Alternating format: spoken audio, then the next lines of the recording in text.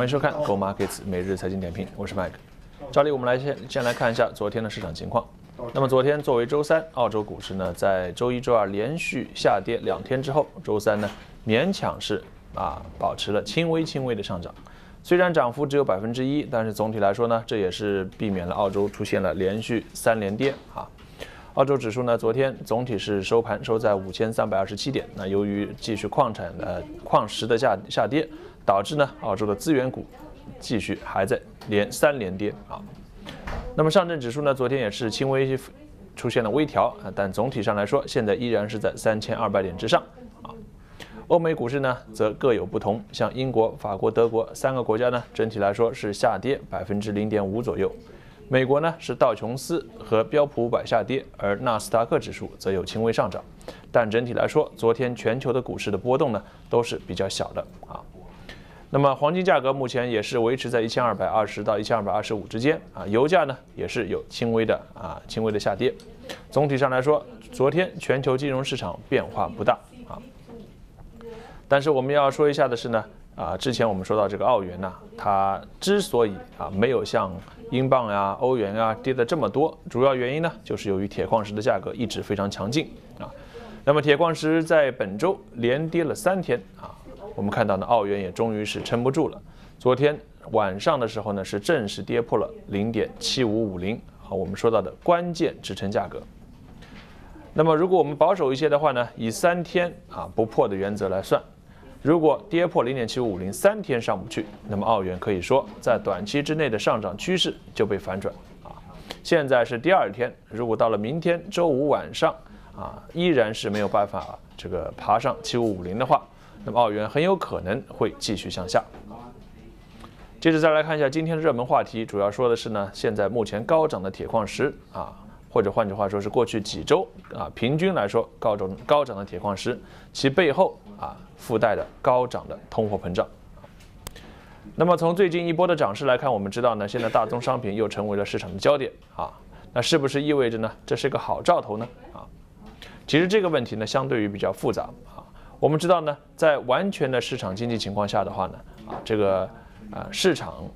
价格是由市场来调节的啊。也就是说呢，政府呢不会去干预干预市场，只会呢设定规则。比如说如何交易啊，如何上涨，如何下跌，如何惩罚那些违规的人啊？但实际上来说的话呢，啊，这个呃，另外一种观点呢，则认为啊，当市场出现极端情况暴涨或者暴跌的时候，这个时候呢，是需要政府适当的进行干预和引导，才能够呢把市场回归到理性状态啊。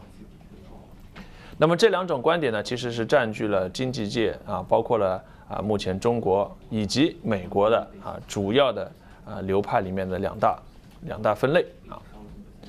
那么从今天我们要说的话题啊，主要说到这个铁矿石这一次的上涨啊，其实并不是由于市场自己调节的啊。那我之前反复说到呢，这次铁矿石上涨的背后，并不是由于需求的增加啊，而是由于呢资金的进场。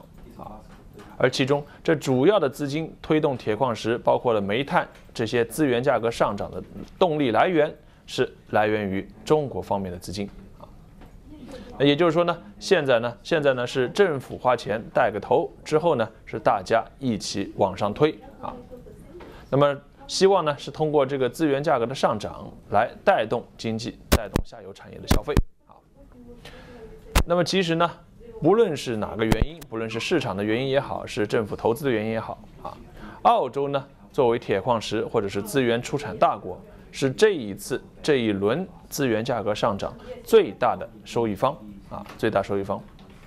所以说，如果现在这个资源价格能够持续上涨，在未来六个月到十二个月还能够保持的话，那澳洲的经济呢，毫无疑问将会从中获得巨大的收益。但是现在呢，主要的国家其实也看到，目前铁矿石和资源价格上涨的背后，其实并并非是来自于实体经济的需求啊，所以我们看到呢，澳洲很多的矿产商啊，他现在比较犹豫，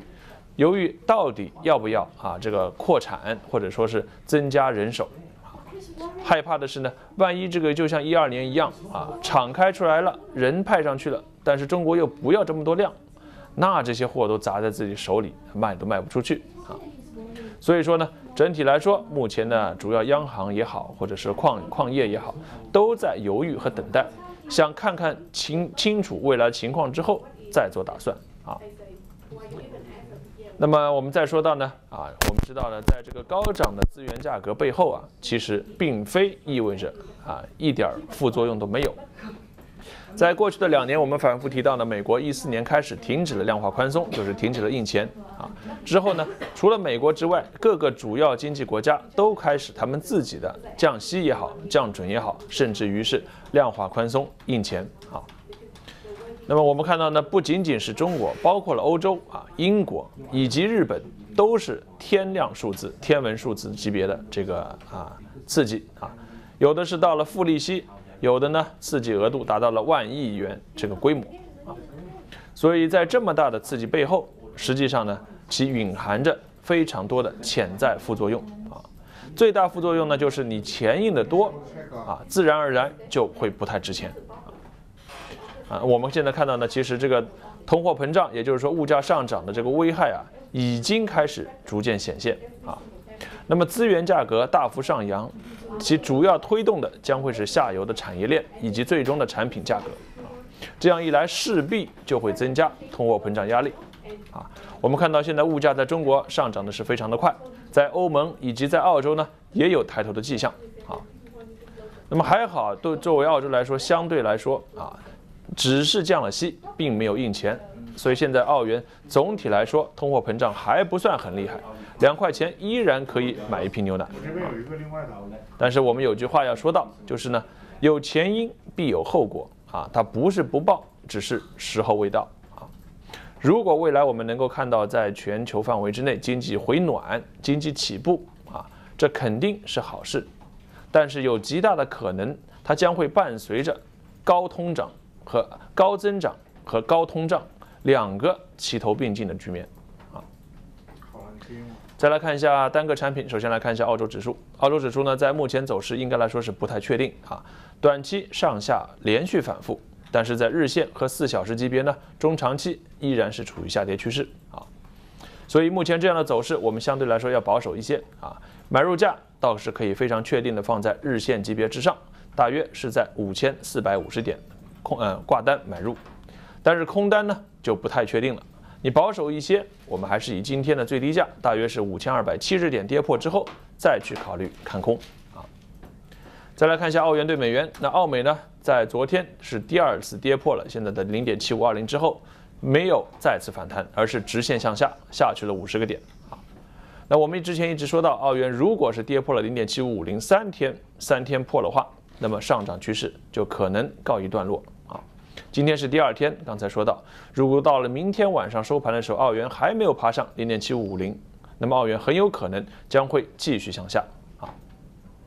所以今天短短期内，我们对于澳元呢可以参考的策略呢，可以在零点七四五五的价格，也就是啊我们现在的低价挂单卖出啊，而买入单呢，则要重新上了零点七五三零才可以考虑挂单买入。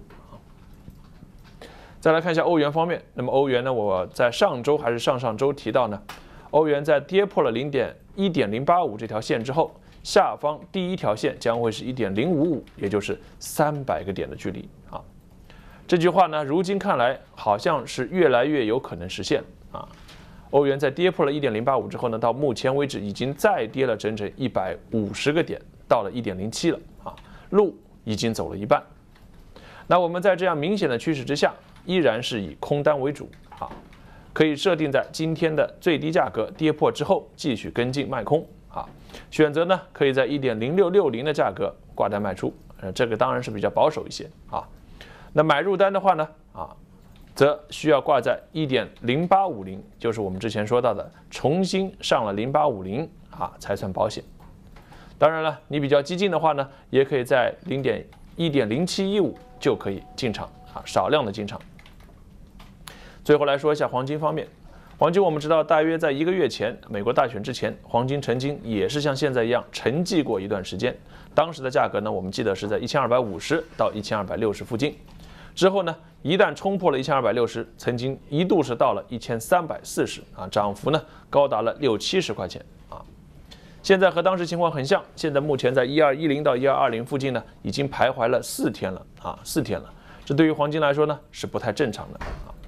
但是它徘徊的时间越久，未来突破之后的爆发力也会越大啊。所以说，如果哦这个黄金能够上了一二三四啊，激进一些一二三四，保守一些一二四五，这两个价格之后的话呢，预计黄金将会有二三十块钱的变化啊。所以我们今天的挂单刚才说到呢，一二三四属于激进式买入啊，保守一二四五挂单买入啊，空单呢？不论是激进还是保守，则统一可以选择在一二零八啊，一二零八。那最后呢，投资者今天需要关注的事件，在晚上八点三十分，英国会出台他们的零售业数据。到了九点钟呢，是这个啊，最终的通胀数据也是英国的啊。再往晚上看，十二点三十分啊，美国会发发布他们的通胀数据、制造业数据以及失业率啊。在晚上的凌晨两点钟呢，有一个大事，就是呢。啊，美联储主席耶伦将会在美国国会坐镇啊，到时候预计呢，欧元、美元和英镑这三个货币将在今晚会出现比较大的波动啊。感谢您收看今天 Go Markets 每日财经点评，我们明天再见。